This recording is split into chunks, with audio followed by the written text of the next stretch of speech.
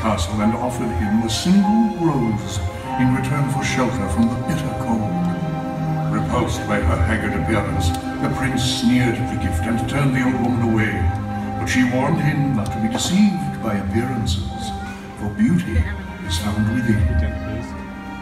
She had seen that there was no love in his heart, and as punishment she transformed him into a hideous beast and placed a powerful spell on the castle and all who lived there. If he could learn to love another and earn their love in return, the spell would be broken. If not, he would be doomed to remain a beast for all time. As the years passed, he fell into despair and lost all hope. For who could ever learn to love a beast?